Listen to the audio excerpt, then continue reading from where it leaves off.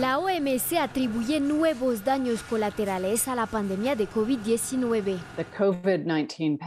La pandemia de COVID-19 provocó un gran retroceso en la vacunación infantil, que nos hace retroceder más de una década. Se estima que 23 millones de niños no han recibido la vacuna básica a través de los servicios de inmunización de rutina en 2020.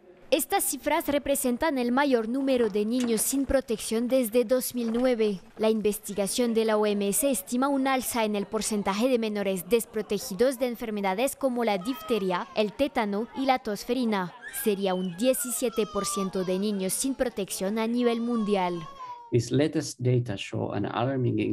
Estos últimos datos muestran un aumento alarmante del número de niños que no recibieron ninguna vacuna, a los que llamamos niños de dosis cero, poniendo en juego la vida de millones de jóvenes.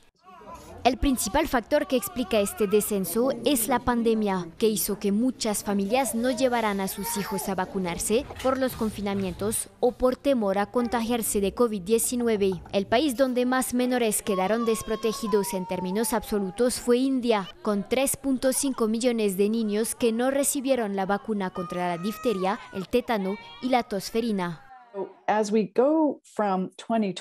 A medida que pasamos de 2020, donde vimos un periodo de compromiso social para reducir la transmisión de estas enfermedades prevenibles por vacunación, a 2021 se acerca potencialmente una verdadera crisis para la protección de la niñez y no queremos llegar a esa crisis.